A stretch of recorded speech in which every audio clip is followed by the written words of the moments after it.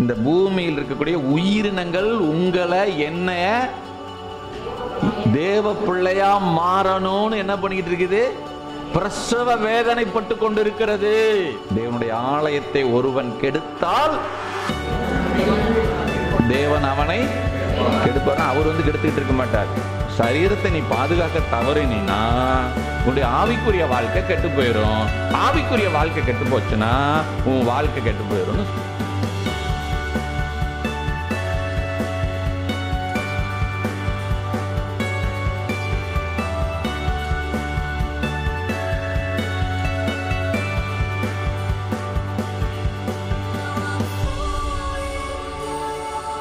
வார்த்தை தான் வாழ வைக்கும் ஆமென் ஆமாம் மனித வார்த்தைகளே சில நேரங்களில் உற்சாகப்படுத்துகிறது.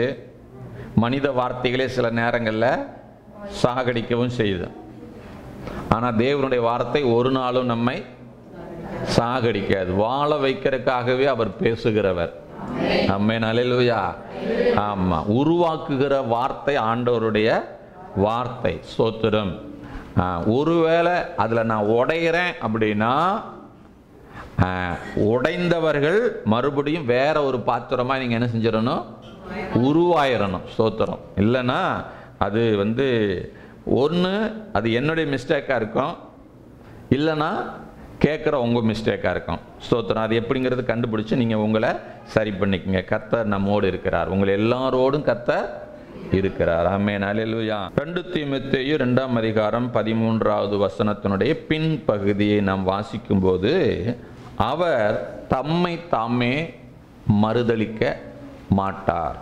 இயேசு அல்லது நாம் ஆராதிக்கிற நம்முடைய தேவன் தம்மை தாமே ஒருபோதும் மறுதலிக்க மாட்டார். தான் யார் என்பதை நன்கு அறிந்து இந்த பூமியில் தன்னை மறுதலிக்காமல் அவர் இந்த பூமியில் இயேசு வாழ்ந்தார். பிதா என்னை எதற்காக அனுப்பினார்? நான் என்ன பேச வேண்டும்? நான் என்ன செய்ய வேண்டும்? என்பதிலே அவர் தெளிவாக இருந்து தன்னுடைய பணியை செய்து முடித்து சிலுவையில் முடிந்தது என்று வீர முழக்கமிட்டவர் நம்முடைய ஆண்டவர். அதனால் அவர் தன்னை ஒரு நாளும் என்ன செய்ய மாட்டார்? மறுதலிக்க மாட்டார். என்று கடந்த வாரம் நான் உங்களுக்கு சொன்னேன். நாம் ஆண்டவரை மறுதலிக்கிறது தவறு.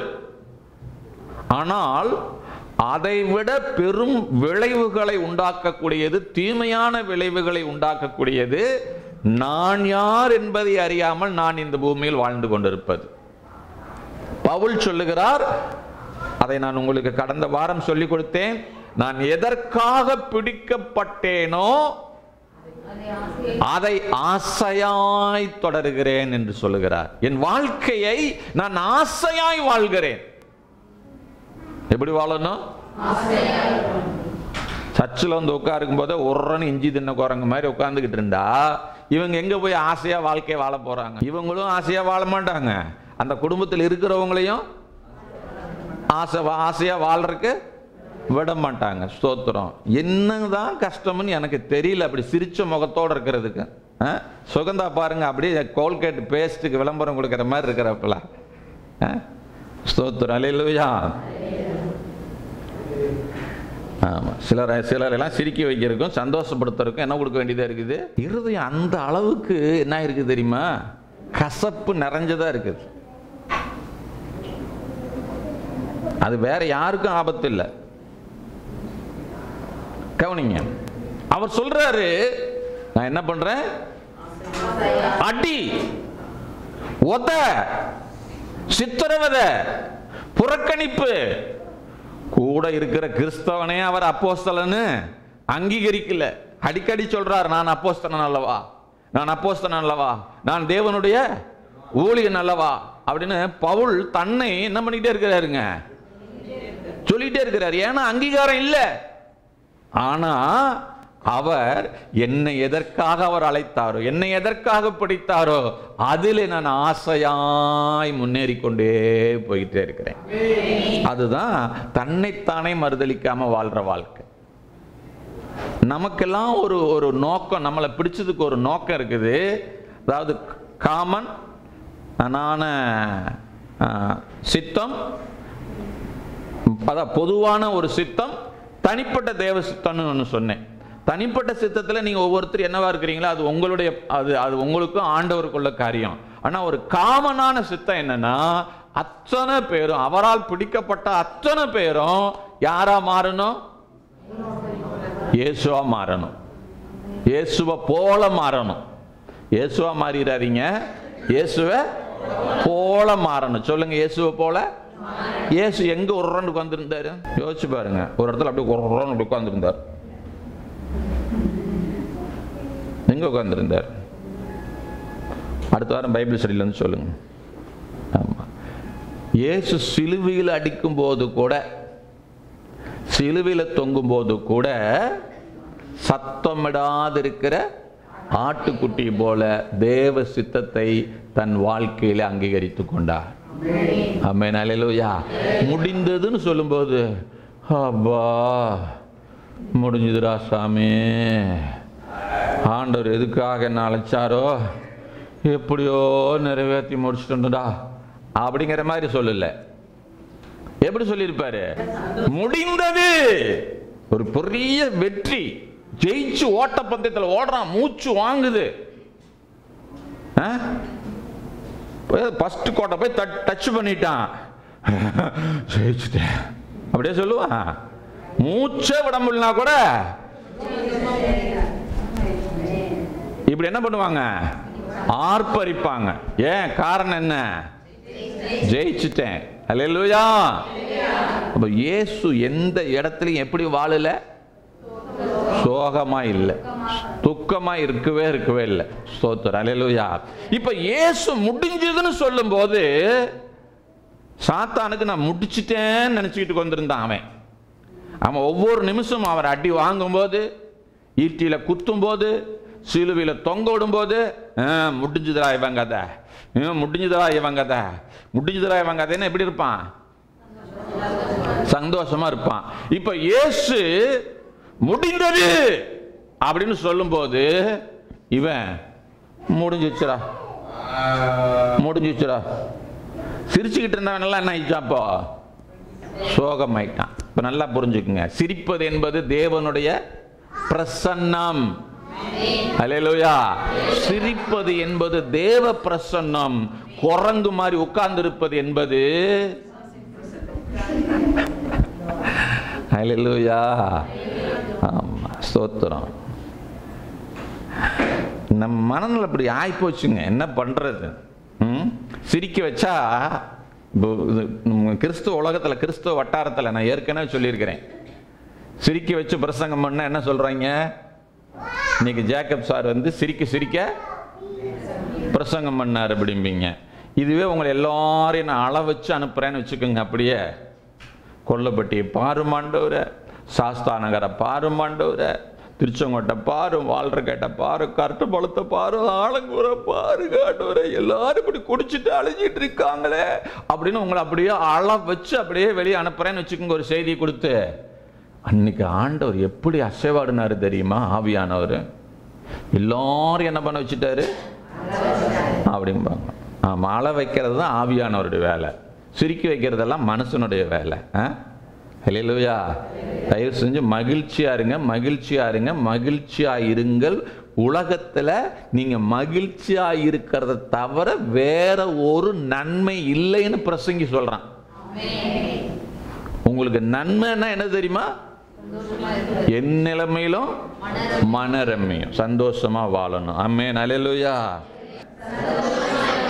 ஏன்னா நம்முடைய ஆண்டவர் நம்மோடு இருக்கிறார். ஹalleluya ஆமாம் ஆமாம் ஆனால் ரெண்டாவது சொன்னேன் நான் வந்து பவுலை சொல்லும்போது பவுலை ஆண்டவர் அழைக்கும்போது அவர் அவர் வந்து கண்ணை திறந்தவர் யார்? அனனியா.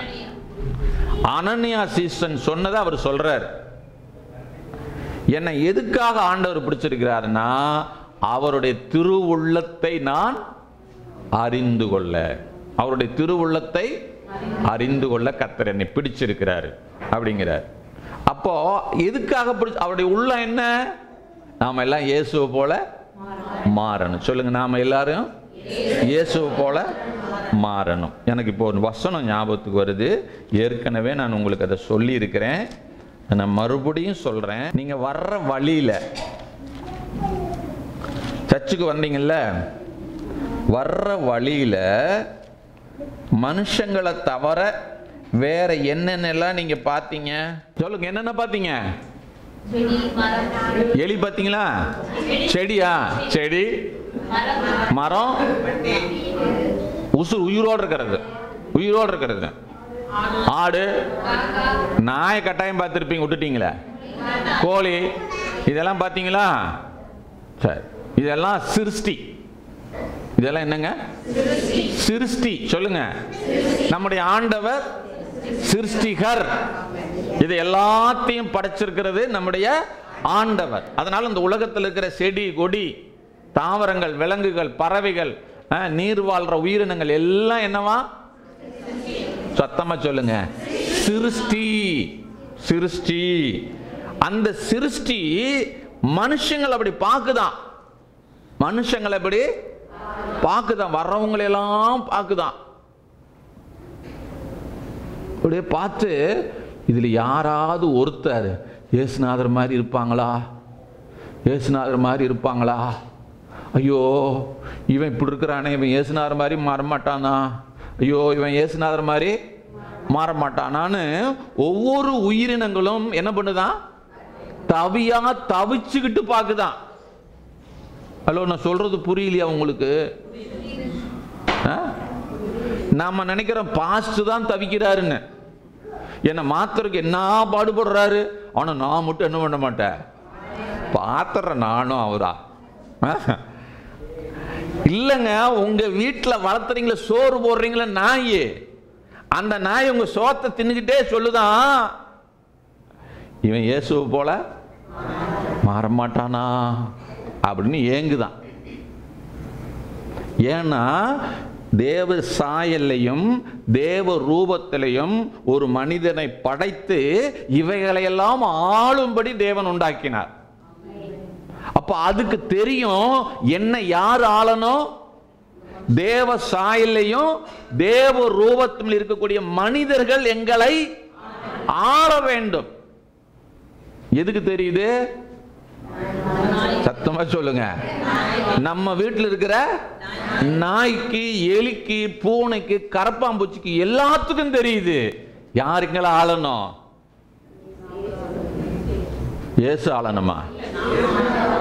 இயேசுவை போல மனிதர்கள் வாழ்ந்து எங்களை ஆண்டாங்கன்னா நாங்க நல்லா இருப்போம். இந்த உலகத்துல பஞ்சம் வராது. எங்களுக்கு பாதிப்பு வராது அப்படின்னு இந்த இயற்கைகள் என்ன செய்யுதுங்க? நம்மளை ஏக்கத்தோடு பார்க்குதான். அந்த ஏக்கத்தினால அதுக்கு ஒரு வழி உண்டாகுதான். ஏக்கத்தில் என்ன உண்டாகுது? வழி உண்டாகுது. அந்த வழி அவர் எப்படி அறிக்கை விடுறாருன்னு பாருங்க. ரோமர் எட்டு பத்தொன்பதாவது வசனம்.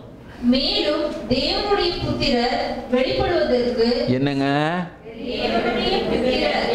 கிறிஸ்துவங்க வெளிப்படுறதுக்கு இல்ல யார் வெளிப்படணும்? தேவனுடைய புத்திரர் வெளிப்படுவதற்கு சிருஷ்டியானது மிகுந்த ஆசையோடு காத்துக்கிட்டு இருக்குது உங்களை பார்க்குது. ரோட்ல வர்ற நாய் உங்களை பார்க்கும்போது அதுக்குள்ள என்ன ஏக்கம்? சொல்லுங்க. நாய் ஏங்குது அப்ப நான் ஏங்குறது தப்பா? தப்பே இல்லை. அப்ப நீங்க நாய் ஒண்ணுதான் சார் சொல்லுங்கம்மா. நீங்க போய் இங்க உங்க வீட்டில் செடி வச்சு யாரெல்லாம் செடி வச்சிருக்கிறீங்க வீட்டில் அந்த செடிக்கு தண்ணி ஊத்துறீங்கல்ல அப்ப அது ஏங்குதான். குரங்கு மூஞ்சி. வந்து தண்ணி ஊற்றுது பாரு. இது என்னைக்கு தேவசாயலா மாறி எனக்கு தண்ணி ஊற்ற போகுதோ தெரியல. அப்படின்னு அது என்ன பண்ணுது? அது ஏங்குது. ஒரு முருங்கை மரத்தில் போய் முருங்கைக்காய் பிக்கிறீங்க பாருங்க. அப்போ அது சொல்லுது. என்ன சொல்லுது? இப்படி மா பறிச்சு பறிச்சு திங்கிறியாடா? தின்னுபிட்டு தேவசாயலா மாறவே மாற மாட்டையா? யோசிச்சு பாருங்க. எப்படி எப்படி இருக்குதுங்களா அது? ஆவலோட இதுவே காத்திருக்குதுன்னா ஜீவனை கொடுத்த ஆண்டவர் எவ்வளவு ஆசையா காத்திருப்பார். அதுக்கு அடுத்து இன்னொரு வசனம் படிங்களே. இருபத்தி ரெண்டாவது வசனம். ஆகையால் நமக்கு தெரிந்திருக்கிறபடி இதுவரைக்கும் சொல்லுங்க. இது உசுர் இருக்கிறதா உசுர் இல்லாத எல்லாம் சேர்ந்து போச்சு. இமயமலையிலிருந்து திருச்செங்கோடு மலையிலிருந்து எல்லாமே அதுக்குள்ள அடங்குது. மண்ணு கல் எல்லாமே அதுக்குள்ள அடங்கி இருக்கு. சர்வ சிருஷ்டியும் ஏகமாய் தவித்து பிரசவ வேதனைப்படுதியா பிரசவ வேதனை ரொம்ப நல்லா இருக்கும்ல? ரொம்ப கஷ்டமான ஒரு நேரம். ஆமா ஸ்தோத்திரம். அலையலுயா இப்போ மற்ற சிருஷ்டிகள் இந்த பூமியில் இருக்கிற சிருஷ்டிகள் என்ன வேதனைப்பட்டுக்கிட்டு இருக்குது? பிரசவ வேதனை. எதுக்கு? இந்த ஜேக்கப்பு தேவ புத்திரரா மாற மாட்டானா? ஏன்னா நாம மாறும்போது தான் இந்த பூமிக்கு ஆசீர்வாதம். நம்மெல்லாம் அந்த கிறிஸ்தவங்க என்ன நினைப்பு தெரியுமா? என்னைக்கு ஆண்டவர் வரப்போறாரு அக்னி இந்த பூமியில போட்டு அழிக்க போறாரு. நல்ல எண்ணமையா? கிறிஸ்தவங்களுடைய எண்ணம் அதுதான். ஏசுனார் வரும்போது என்ன ஆகும்? அப்படியே போர்வை சுருட்டுறது போல ஆண்டவர் என்ன பண்ணிடுவாரு? ஒரு பாய சுருட்டுற மாதிரி சுருட்டி வச்சிருவாரு சுருட்டி கொண்டு எங்க வைப்பாருன்னு தெரியல. ம்? அதெல்லாம் வேற அர்த்தம். அதெல்லாம் அர்த்தம் புரியாம நீங்க என்ன பண்ணிட்டு இருக்க கூடாது? பூமி வந்து அக்னிக்கு இரையாக வைக்கப்பட்டிருக்குதுனால சொல்லிக்கிட்டு இருக்காதீங்க. இந்த பூமியில் இருக்கக்கூடிய உயிரினங்கள் உங்களை என்ன தேவ பிள்ளையா மாறணும்னு என்ன பண்ணிக்கிட்டு இருக்குது? பிரசவ வேதனைப்பட்டு கொண்டு இருக்கிறது அம்மேன் ஆகவே என் என்னுடைய தலையாய நோக்கம் நான் இயேசு போல அதுக்கு தான் கத்தர் என்ன அழைச்சிருக்கிறார். இது தெரியாம நான் வாழ்றேன்னா என்னை நான் மறுதளித்து கொண்டிருக்கிறேன். நீங்க இயேசுவெல்லாம் மறுதலிக்கல. உங்களை நீங்க மறுதளிச்சு உங்களை நீங்களே என்ன நானே ஏமாத்திட்டு இருக்கிற வாழ்க்கை என்ன நானே ஏமாத்திக்கிறதுனால யாருக்கும் நஷ்டம் இல்லை. எனக்கு தான் நஷ்டம். நான் என்னை ஏமாத்திக்கிறதுனால நிறைய பேர் பாதிக்கப்படுவாங்க. அது ஒரு பக்கம் இருக்குது. ஆனா நஷ்டம் யாருக்கு? எனக்கு. பாதிக்கப்பட்டவர்கள் வேறு ஏதாவது ஒரு வழியில தங்களை சரி பண்ணிக்குவாங்க.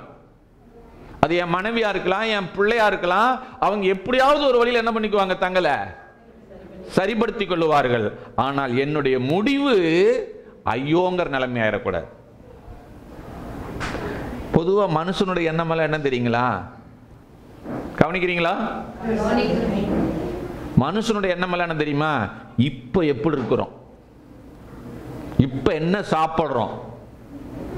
இப்ப என்ன உடுத்துறோம்? இப்ப வீடு எப்படி இருக்குது? இப்ப என்ன கார் வாங்கி இருக்கிறோம் அப்படின்னு எதுல எதில் தான் நம்ம ஃபோக்கஸ் பண்றோம்?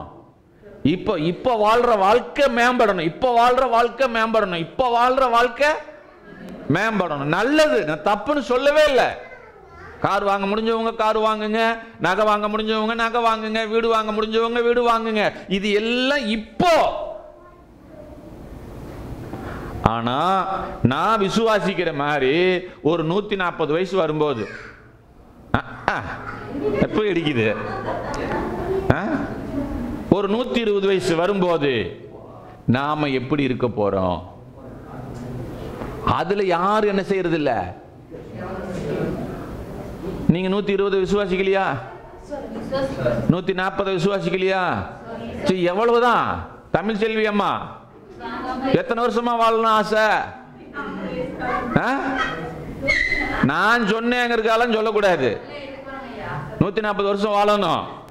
அப்ப நூத்தி நாற்பதாவது வயசுல நான் எப்படி இருக்க போறேன்? கட்டல படுத்துக்கிட்டு. இந்த அந்த கையை அப்படியே இந்த பக்கம் தூக்கி போடுறியா? இந்த கையை தூக்கி இந்த பக்கம் போடுறியா? ஆ, அப்படியே ரெண்டு சொட்டு தண்ணி ஊத்துறியா? ஐயா ஆய் வந்துருச்சு. யாராவது கழுவி விடுறீங்களா? அவள் வந்து நிற்பா மருமூலம் மாமனார் யாரோ வந்து நிற்பாங்க வந்து. கரும்பு பிடிச்ச நாய். இவனுக்கு போறதுக்கு நேரங்காலமே. ஐயோ செத்து போயிட்டா பரவாயில்லையே. செத்து போய் தூக்கு போடுற கூட இருந்துச்சு நடந்து போறதுக்கு பலன் இல்லையே. இந்த மாதிரி வாழ்க்கை ரொம்ப மோசமான வாழ்க்கை. வேதம் சொல்லல இப்படி நீங்க சாவுவீங்கன்னு. இது இப்போ இந்த வயசுல நீங்க சரியா கட்டல அப்படின்னா அங்க அப்படித்தான் இருக்கும். இப்ப என்ன கட்டுறது? சார் நல்லா ஹெல்த்தி ஃபுட்டை நான் சாப்பிட்றேன் சார். ஏன்னா ஜிம்முக்கு போய் நான். அப்படியெல்லாம் எக்ஸசைஸ் பண்றேன் சார். இதெல்லாம் அவசியம். இதை நான் கிரிட்டிசைஸ் பண்ணவே இல்லை. ஏன்னா சரீரம் இருந்தால் தான் உள்ள இருக்கிற ஆவியை நீங்க என்ன பண்ண முடியும்? பாதுகாக்கப்பட முடியும். ஆவி எங்க இருக்குது? சரீரத்துக்குள்ள இருக்குது. வயிற்று வலி வந்துட்டா ஜெபம் பண்ண முடியாது. வயிற்று வலி வந்துட்டா சர்ச்சுக்கு வர முடியாது. ஒரு நாள் வைத்தால போச்சுன்னு சொன்னா அன்னைக்கு பைபிள் படிக்கிறது அதனால சரீரத்தை பில்டப் பண்றது தப்புன்னு சொல்லவே இல்லை. அதை விட ஒன்று முக்கியமானது என்ன தெரியுமா? உங்களுக்குள் இருக்கக்கூடிய ஆவி. நீங்க சரீரத்தை என்னதான் பில்டப் பண்ணி பில்டப் பண்ணி உங்க ஆவியை பாதுகாக்க தவறிட்டீங்கன்னு சொன்னீங்கன்னா இப்போ இளமையும் தெம்பும் ரத்தமும் இருக்கிற வரைக்கும் நல்லா ஓடலாம். ஆமா உள்ள இருக்கிற பார்ட்ஸ் தேஞ்சு போச்சுன்னா என் பைக்கில் சத்தம் வர்ற மாதிரி தான் போகும்போதே குண்டு குழியில் போகும்போது கடப்பட கடப்பட கடப்பட கடப்பட கடப்பட கிடக்கும். அப்படிதான் கேட்கும்.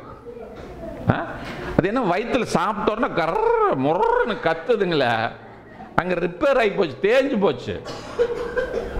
ஆ? போய் உட்கார்ந்தாலும் வரவே மாட்டேங்குது முக்க வேண்டியதாக இருக்குதுங்க. வீக் ஆயிடுச்சு உறுப்பு. ஸ்தோத்திரம் இந்த நிலமெல்லாம் வரவே கூடாது. ஒருவன் தன் ஆவியை காத்துக்கொண்டு தேவனுக்கு சித்தமானதை செய்வானே ஆனால் ஒருவன் இயேசுவை போல வாழுவானே ஆனால் அவன் முதிர் வயதிலும் கனியை தந்து மற்றவர்களுக்கு ஆசீர்வாதமாய் வாழ்ந்து பசுமையும் புஷ்டியுமாய் இருப்பான் இதுக்கு ரெண்டும் அவசியம். சில ஆளு ஆவிக்கு முக்கியத்துவம் கொடுத்துறது சரீரத்தை என்ன பண்றது இல்ல வேலை வேலைக்கு சாப்பிட்றது இல்ல அப்புறம் கண்டதை சாப்பிட்றது. எதை திங்கணும் எதை திங்கிறதுன்னு தெரியுமானுங்க. ஆமாம் நான் ஒரு உதாரணம் சொல்கிறேன் உண்மையாக நடந்த சம்பவத்தை சொல்கிறேன் யாரும் வருத்தப்பட்டு கூடாது. வீட்டில் ஒரு முறை சாம்பார் சாதம் செய்கிறேன்னு சாம்பார் சாதம் செஞ்சாங்க. சரி செஞ்செல்லாம் செஞ்சாங்க. ஜாயோ யாரோ செஞ்சாங்க. சாப்பிட்டா சாப்பிடவே முடியல. உள்ளேயே என்ன செய்ய மாட்டேங்குது? போக மாட்டேங்குது. அப்புறம் அதை கொண்டு போய் சரி மிச்சமாகி போச்சு இது என்ன பண்ணுறதுன்னு சொல்லி எங்கள் வீட்டுக்கு அப்பப்போ நாய் மிச்சம் மீதி சாப்பிட்றதுக்கு ஒரு நாய் வந்துட்டு போயிட்டே இருக்கும். அது கொண்டு போய் வச்சாங்க. வேகமாக ஓடி வந்துச்சு. மோந்து பார்த்து அது பாடு தெரியும் உண்மையில் நடந்த சம்பவம்.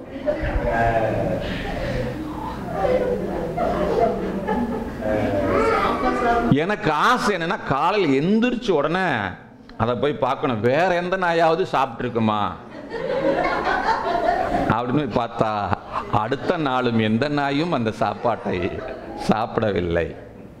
பாருங்க நாய் கூட எதை சாப்பிடணும் எதை சாப்பிடக்கூடாது? இது வேணும் இது எனக்கு சரியில்லைன்னு சொல்லி உணர்ந்து வேண்டான்னு அவாய்ட் பண்ணிட்டு போற அளவுக்கு அறிவாளியா இருக்கும்போது மனிதன் கண்டதை பிச்சு பிச்சு என்ன பண்ணிட்டு இருக்கிறான் உள்ள? போட்டு தின்னுபிட்டு அப்புறம் எனக்கு அது வந்துருச்சுங்க இது வந்துருச்சுங்கன்னா கடவுள் ஒன்றும் பண்ணவே முடியாது. ஸ்தோத்திரம். அல்லேலூயா. அப்புறம் சொல்றது நான் இந்த ஆண்டவருக்காக இந்த வியாதியை சுமக்கிறேன். உனக்காக அவர் வியாதியை சுமந்ததுக்கு பிறகு நீ என்ன அவருக்காக அவர் நீ வியாதியை சுமக்கிற? இது அப்படியே ம- உல்டாவா தெரியல? ஆ? நம்ம வியாதி அவர் சுமந்துட்டாரு. இப்ப அவருக்காக இவர் என்ன பண்றாராம்? இந்த வியாதிகளையும் இந்த பாடுகளையும் இந்த வேதனைகள் எல்லாம் நான் ஆண்டவருக்காக அப்புறம் விசுவாசிங்களா வந்துட்டான்னு வச்சுங்களேன் நீங்களா வந்து உட்காந்துருந்தீங்கன்னு வச்சுங்களேன் எனக்கு நோய் வந்துச்சுன்னு வச்சுங்களேன் இப்போ நான் என்ன தெரியுமா நான் சொல்லுவேன்? நான் ஒழுங்கா இருந்ததுனால ஒழுங்கா இல்லாததுனால இந்த வியாதி எனக்கு வந்துச்சு நான் சொல்ல மாட்டேன். இந்த மாதிரி நீங்களாம் அப்படியெல்லாம் அப்படியெல்லாம் அதெல்லாம் பண்ணுனீங்க இதெல்லாம் பண்ணுனீங்க. உங்களுக்காக நான் என்ன பண்ணினேன்? உபவாசம் இருந்து வெடி வெடி ஜெபம் பண்ணினேன். வெடி வெடி தூங்கணும் எனக்கு தான் தெரியும் ஆண்டவருக்கு தெரியும். ஆனால் வெளியே சபைக்கிட்ட சொல்றது என்ன? உங்களுக்காக உங்களுக்காக இன்னைக்கு இந்த வியாதியை நான் அனுபவிச்சுக்கிட்டு இருக்கிறேன். இதெல்லாம் நடிப்பு. உலக மகா நடிப்பு ஸ்தோத்திரம். தயவு செஞ்சு சொல்றேன் இந்த சரீரம் தேவனுடைய ஆலயம். தேவனுடைய ஆலயத்தை ஒருவன் கெடுத்தால் தேவன் அவனை கெடுப்பார். அவர் வந்து கெடுத்துக்கிட்டு இருக்க மாட்டார். சரீரத்தை நீ பாதுகாக்க தவறினா உன்னுடைய ஆவிக்குரிய வாழ்க்கை கெட்டு போயிடும் ஆவிக்குரிய வாழ்க்கை கெட்டு போச்சுன்னா உன் வாழ்க்கை கெட்டு போயிடும்னு சொல்றாரு அவர். அதனால சரீரத்தை என்ன பண்ணுங்க ஒழுங்கா பாதுகாத்துங்க அதை விட முக்கியத்துவம் இது ரெண்டும் பேலன்ஸ் பண்ணி போகணும்.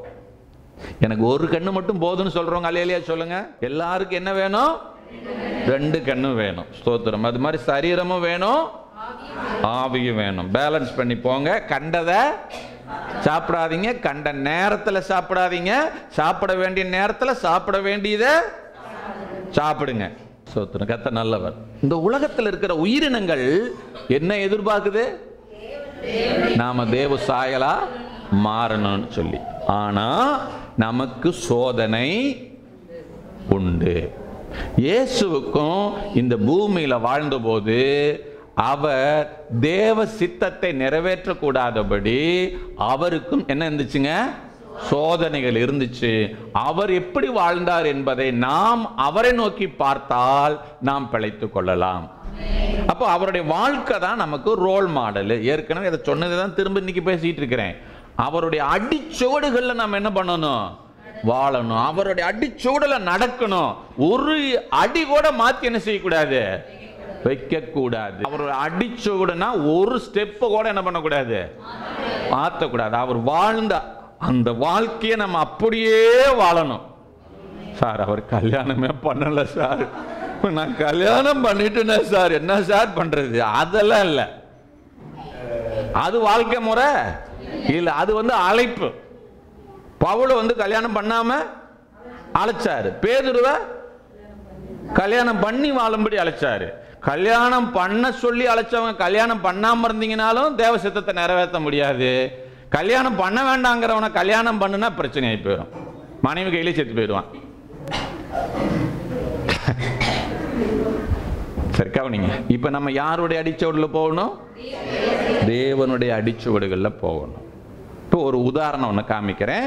ஏற்கனவே நம்ம பார்த்த அதே வசனம் யோவான் எழுதின சுவிசேஷ புஸ்தகம் ஏழாம் அதிகாரம் மூன்று நான்கு ஐந்து.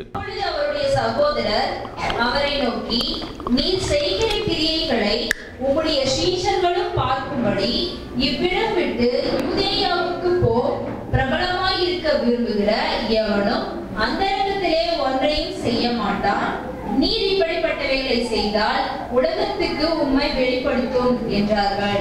அவருடைய சகோதரரும் அவரை விசுவாசியாதபடியால் இப்படி சொன்னார்கள். கவனிங்க. இப்போ இயேசுவுக்கு உள்ளேயும் சோதனை வெளியிலையும் சோதனை வந்துச்சு. இப்போ இந்த சோதனை எங்கிருந்து வருது? குடும்பத்துக்குள்ள. குடும்பத்துல அவரோடு கூட பிறந்தவங்க அவரை ஒரு நிர்பந்தத்துக்குள்ள கொண்டு போறாங்க. நீங்க அப்படி பார்க்கணும். இயேசு தேவ சத்தம் கேட்டு தேவ சித்தம் செய்ய போயிட்டு இருக்கிறாரு ஆனா அவரோடு கூட பிறந்த அவங்க குடும்பத்தில் இருக்கிறவங்க தேவ சித்தமாவது ஒன்னாவது நான் சொல்ற மாதிரி நீங்க என்ன பண்ணணும் இப்போ? ஏன் சொன்ன பேச்சு கேட்கணும். அப்படிங்கிற மாதிரி இந்த குடும்பத்தில் இருக்கிறவர்கள் அவரை என்ன பண்றாங்க? நிர்பந்தம் பண்ணுகிறார்கள். சொல்லுங்க என்ன பண்றாங்க? ஆனா அந்த நிர்பந்தத்துக்கு இயேசு என்ன பண்ணல? உடன்படல. அப்போ எல்லா விஷயத்துக்கும் நீங்க குடும்பத்துல உடன்பட்டு போனீங்கன்னா தேவ சித்தத்தை விட்டு என்ன செஞ்சிருவீங்க? விலகி போயிருவீங்க. அப்புறம் எப்படி சார்? குடும்பத்துக்கு கீழ்ப்படியணும்னு சொல்லியிருக்கிறீங்களே. வேதம் சொல்லுது கிறிஸ்துவுக்குள் கீழ்ப்படியுங்கள். பிள்ளைகளே உங்கள் பெற்றோருக்கு கர்த்தருக்குள்ள கீழ்ப்படிங்கன்னு சொல்லி இருக்குது நல்லா புரிஞ்சுக்கணும். அப்போ அப்ப நான் கர்த்தருக்குரிய காரியத்தை செய்யாம பெற்றோர்கள் என்ன வேற மாதிரி புஷ் பண்றாங்கன்னா அந்த இடத்துல பெற்றோருக்கு கீழ்ப்படிய வேண்டிய அவசியம் இல்லை. விளக்குதா? ரொம்ப முக்கியம் இது. அப்ப நீ தேவ சித்தத்தை விட்டுட்டு உன் குடும்பத்தார் அப்படின்னு சொல்லி பாத்தீங்கன்னா அந்த அந்த இடத்துல தேவனுக்கு பதிலாக உன் குடும்பத்தார் வந்துடுறாங்க. அவங்க உனக்கு தேவன் ஆயிடுறாங்க இல்ல அவங்க என்ன நடத்தக்கூடாது. எனக்குள்ள ஒருவர் இருக்கிறார். அவர் என் கூட பேசுவார். தேவ சித்தம் என்பதை எனக்கு வெளிப்படுத்துவார். அதுல நான் என்ன பண்ணணும்? நடக்கணும். சோத்திரம். சில காரியங்களை மாத்திரம் நான் உங்ககிட்ட குடும்பம் எப்படி நம்மளை டைவர்ட் பண்ணுது அப்படிங்கிறத நான் உங்களுக்கு காண்பிக்க விரும்புகிறேன் மெத்தனம். முதல் காரியம் என்ன? மெத்தனம். மெத்தனம்னா என்ன? அசால்ட். ஆமா. என்ன சொல்லுவாங்கன்னா ஏ வார வாரம் போயே தான் ஆகணுமா? இந்த ஒரு வாரம் போகலினா என்ன கெட்டு போயிட போகுது? யார் சொல்லுவா? நான் பக்கத்து வீட்டுக்காரங்க சொல்லுவாங்க எது வீட்டுக்கார சொந்தக்காரங்க சொல்லுவாங்க அவங்களெல்லாம் விட்டுருங்க நீ. நாம பேசிக்கிட்டு இருக்கிறது எதை பத்தி பேசிட்டு இருக்கிறோம்? குடும்பத்துக்குள் இருக்கிற வரக்கூடிய நிர்பந்தம்.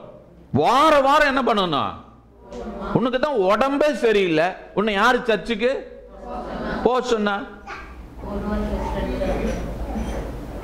போன வாரம் தானே போனேன். இப்படி முக்காட்டை போட்டுட்டு ஜெபம் பண்ணணுமா? இப்படி என்ன செய்கிறாங்க நம்மளை? ஆவிக்குரிய வாழ்க்கையில் நாம் வைராக்கியம் காட்டக்கூடாதபடிக்கு சில சூழ்நிலைகளில் மெத்தன போக்கை தன்னுடைய வார்த்தைகளாலும் செயல்களாலும் நமக்கு என்ன செய்வாங்க அவங்க? உண்டாக்குவார்கள். ஆ? ஞாயிற்றுக்கிழமை ஒரு நாள் தான் லீவு. இன்னைக்கு தான் நான் ஒரு ஏழு மணி வரைக்கும் தூங்கலான்னு நான் நினைக்கிறேன். ப- தினமும் ஆக்கி ஆக்கி அஞ்சு மணிக்கு எந்திரிச்சு கொட்டிக்கிட்டு இருக்க வேண்டியதாக இருக்குது. இந்த ஞாயிற்றுக்கிழமை ஒரு நாளைக்கு நிம்மதியா? இது என்னது? மெத்தனம். மற்ற நாளில் நீ அஞ்சு மணிக்கு எந்திரிச்சு சோறாக்கி இருந்தீங்கன்னா ஞாயிற்றுக்கிழமை நாலு மணிக்கு எந்திரிக்கணும். அதுதான் உண்மையான ஆவிக்குரிய கிறிஸ்தவங்களுடைய வாழ்க்கை. நம்ம எப்படி கெட்டு போயிருக்கிறோம்னு சொல்கிறேன் இன்னொரு காரியத்தை சொல்கிறேன் நீங்கள்லாம் வேறு மதத்திலிருந்து வந்திருப்பீங்க. நானும் வேறு மதத்திலிருந்து தான் வந்தேன். இந்த ஆண்டவரை ஆராதிக்கிறதுக்கு முன்னால சில குடும்பத்தில் சில ஐதீகம் வச்சுருக்கிறாங்க. ராத்திரியில் சிங்கில் கழுவு அழுக்கு பாத்திரம் கடக்கக்கூடாது. எச்ச பாத்திரம் கடக்கக்கூடாது. தெரியுமா அது? ஆ? அப்படிதான் செஞ்சோம். இன்னைக்கு போய் பாருங்க. இன்னைக்கு ரட்சிக்கு போட்டு ஏசுனார் ஏத்துக்கிட்டோம்ல? இப்ப போய் பாருங்க. பத்து மணி பத்தரை மணிக்கு மேலதான் திங்கிறது. தின்னுபிட்டு கொண்டு போய் எல்லாத்தையும் என்ன பண்ணுறது அப்படியே போட்டு வந்து ஆன்னு படுத்துக்கிறது. ஒன்னா நம்பர் சோம்பேறி.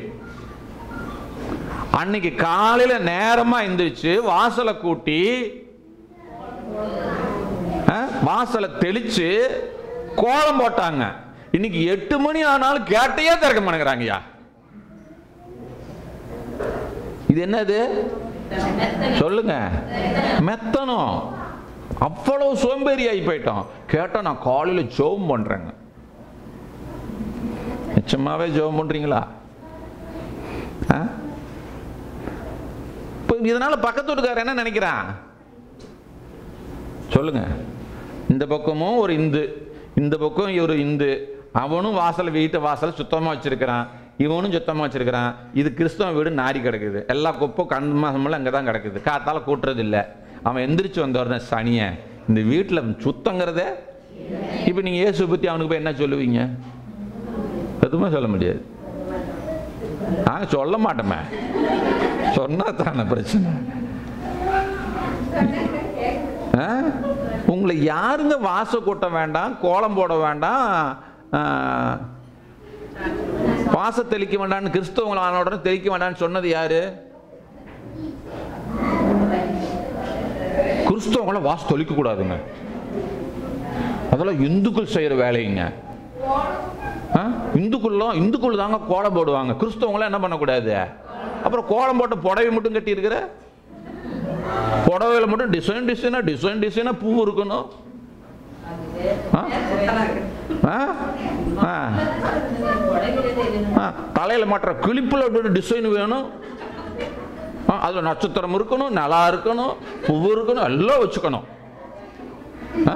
அந்த இது ஒன்று ஒன்று மாட்டுறீங்களே வெள்ளை அதுக்கு பேர் என்ன அது கல்யாணத்துல இல்லாமல் ரீத்து மாட்டுவாங்க ஆ, அந்த ஸ்கார்ப்பு கூட ஏன் வெள்ளை தண்ணி வேட்டி கட் பண்ணி நெளிச்சு கட்டிட்டு வர்றது அது புடவைக்கு மேட்சா இருக்கணுமா? அதுலயும் டிசைன் டிசைனா இருக்கணுமா? இன்னையா ஏமாத்திக்கிட்டு இருக்கிறீங்க கிறிஸ்தவங்களை? உலகத்தை? ஆ? அம்மா, நான் உங்களை சொல்லல. நீ கட்டிருக்கிறீங்களோ? உங்களை சொல்லல நான். கட்டுங்க இதெல்லாம் தப்பு இல்லை ஆனா வீடு வாசல காலைல எந்திரிச்சு தயவு செஞ்சு ஜோம் பண்ணிட்டு வாசலை கூட்டி தண்ணியாவது தெளியுங்க. சாணியெல்லாம் இப்போ கிடைக்காது. தண்ணியாவது என்ன பண்ணுங்க? தெளியுங்க. கோலம் போட தெரிஞ்சா கோலம் போடுங்க. அது ஒரு கலை அது ஒரு அழகு. கோலம் போட்ட டைல்ஸ் வீட்டுக்குள்ள பதிக்கலாமா? வட்ட வட்டமா போட்டு பூ போட்டிருக்குதா? அது என்ன? கோலம்னா என்னங்க? வட்டமுங்க. கோலம் அப்படிங்கிற வார்த்தைக்கு பேர் என்ன? வட்டம் போடுறீங்க இப்படி மாவுல அவ்வளவுதான். எது தான் சாஸ்திரமாக்குறது? எதை எதை தான் கலாச்சாரமாக்குறது? எதை எதை தான் மதமாக்குறதே தெரியாம ஒன்னா நம்பர் சோம்பேறி ஆக்கிட்டு இருக்கு வந்திருக்கிறோம். ஸ்தோத்திரம். த- தயவு செய்து காலையில் அதிகாலையில் எழுந்து பழகுங்கள். ஸ்தோத்திரம். எத்தனை மணிக்கு சார் அதிகாலை? ஏழு மணிக்கு சார் எங்களுக்கு. ஏழு மணிக்கு மேலே எனக்கு தூக்கமே வர மாட்டேங்குது. செவ்வனியில் கொஞ்சம் அப்பளமான் இருக்குது. இப்போ என்ன பண்ணணும்? காலையில் நீங்கள் என்ன பண்ணணும்? இது ஒரு பெரிய பிரச்சனை. அம்மாக்காரி போய் பிள்ளை எழுப்புனா அப்பங்காரன் சொல்றது. தூண்டு கொஞ்ச நேரம் பிள்ளை. அப்பங்காரன் போய் எழுப்புனா அம்மாங்காரி சொல்றது. எதுக்கு போய் எழுப்புற? விளங்குமியா நல்லா குடும்பம். பிள்ளைக்கு படிமானத்தை சின்ன வயசுலேருந்து என்ன பண்ணுங்க? சொல்லி கொடுத்து பழக்குங்க. அல்லேலூயா ஆமாம். அது கா குறைஞ்சது ஆறு மணிக்காவது தயவு செஞ்சு சூரியன் வர நேரத்துலையாவது என்ன பண்ணுங்க? எந்திரிங்க. அதிகாலையில் என்னை தேடுகிறவன் இப்படி ஒரு வசனம் மட்டும் இல்லைன்னு வச்சுக்கோங்களேன். பத்து மணிக்கு எந்திரிச்சா கூட எந்திரிப்பேன் நம்ம ஸ்தோத்திரம். வாழ்க்கையில் முன்னேறினவர்கள் எல்லாருமே அதிகாலையில் எழுந்தவர்கள். நீங்கள் யாரை வேணாலும் கேளுங்க. வாழ்க்கையில் ரொம்ப அடிமட்டத்திலிருந்து எல்லாரும் உலகம் பார்க்கக்கூடிய லெவலுக்கு மேலே வந்த அத்தனை பேருமே அதிகாலையில் எழுந்தவர்கள். அவங்க ஜெபம் பண்ணாங்களா பயில் படிச்சாங்களா எனக்கு அதெல்லாம் தெரியாது. ஆனால் அதிகாலை நேரத்தை அவர்கள் சரியாக பயன்படுத்தினார்கள். அவர்கள் வாழ்க்கையில் உயர்ந்தார்கள். அதிகாலை இன்னும் கொஞ்சம் தூங்கட்டும் இன்னும் கொஞ்சம் தூங்கட்டும் என்று கை முடக்கி நீ படுத்திருப்பாயானால் உன் தரித்திரம் வழிப்போக்கினை போலும் ஆயுதம் அணிந்த மனிதனைப் போலும் வரும். இதெல்லாம் எங்களுக்கு தெரியும் சார். இந்த வயதில் படிக்காத வசனமா நாங்க எத்தனை முறை படிச்சிருக்கிறோம். இதெல்லாம் படிச்சு போட்டு நாங்க அழுது கூட ஜெபம் பண்ணியிருக்கிறோம் சார். அப்போ நாங்க அப்படிதான் சார் தூங்கிட்டு இருக்கிறோன்னா உங்களை மாத்திரக்கு யாராலையும் முடியாது. சார் அதுக்கு அடுத்தது. ரெண்டாவது காரியம். இது எல்லாருமே பாதிக்கப்பட்டிருப்போம் நான் சொல்ற காரியம். சண்டை. சொல்லுங்க. சண்டை. சண்டை போட வைப்பாங்க. குடும்பத்தில் இருக்கிறவங்க என்ன பண்ணுவாங்க நம்மள? அவங்க சண்டை போடுறத பத்தி நான் பேசல. ஹலோ உங்க குடும்பத்தில் இருக்கிறவங்க உங்க கூட சண்டை போடுறத பத்தி நான் இப்போ பேசல. நான் என்ன பேசுறேன் இப்போ? உங்களை சண்டை போட வைப்பாங்க. சண்டை போடலினா கூட எதுக்கு அமைதியாக இருக்கிறாளேன்னு மறுபடியும் மறுபடியும் என்ன பண்ணுவாங்க? நாங்களாம் அப்படி இல்லைங்க. வரும்போதே ஆரம்பிச்சிடுவோங்க அப்படியா? சண்டை யாருடையது? ஆ? சத்தமாக சொல்லுங்க. சார் சொல்லி. நாம சண்டை போடுறவங்களா? இருக்கக்கூடாது. என்ன நெருக்கம் வந்தாலும் இன்னைக்கு ஒரு தீர்மானம் எடுத்துட்டு போங்க. டைம் ஆயிடுச்சு. என்ன நெருக்க வந்தாலும் என்னை என்னதான் என்னுடைய பொட்டனையவே வச்சு அமுத்துனா கூட நான் சண்டை போட மாட்டேன். தூக்கி போட்டு மிதிச்சா கூட என்ன பண்ண மாட்டேன் நான்? சண்டை போட? சொல்லுங்க செத்தமா ஏன்னா இது ஆண்டவருடைய சுபாவமே இல்லை. சார் அப்படியே வாழ்ந்துட முடியுமா சார்னா நியாயத்தை நியாயமாக எடுத்து சொல்லுங்கள் எடுத்து சொல்ல வேண்டிய விதத்தில் என்ன பண்ணுங்க? சொல்லுங்க. புரிஞ்சு கொள்ள வேண்டிய நேரத்தில் புரிய வையுங்க. அந்த பக்குவத்தை இல்லாம சண்டை போடுறதுனால ஒரு பிரயோஜனமும் இல்லை. உங்க வீட்டுக்குள்ள பேய திறந்துட்டு வாசல்ல நிக்கிற பேயை எங்க விட்டுட்டீங்க இப்போ? வீட்டுக்குள்ள. பெட்ரூம்ல சண்டை போட்டீங்கன்னா பெட்ரூமுக்குள்ள வந்து பேய் உட்காந்துருக்கும் கிச்சன்ல சண்டை போட்டீங்கன்னா கிச்சன்ல உட்காந்துருக்கும் இந்த பேயெல்லாம் கண்ணுக்கு தெரியாது. ஸ்தோத்திரம். அது அது பாட்டுக்கு அப்- அமைதியாக உட்காந்துக்கிட்டு அப்போ எந்த வேலையுமே செய்யாது. அதுக்கு ஒரு தருணம் பார்த்துக்கிட்டே இருக்கும். அந்த சூழ்நிலை வரும்போது உடனே வச்சு ஒரே அமுத்தா அமுத்தி உங்களுடைய ஆசீர்வாதங்களை அவன் தடை பண்ணி விடுவான். பிசாசுக்கு அவ்வளோ வல்லம் இருக்காதா சார்னா நீங்கள் இடம் கொடுக்கிற வரைக்கும் அவனுக்கு வல்லமை கிடையாது.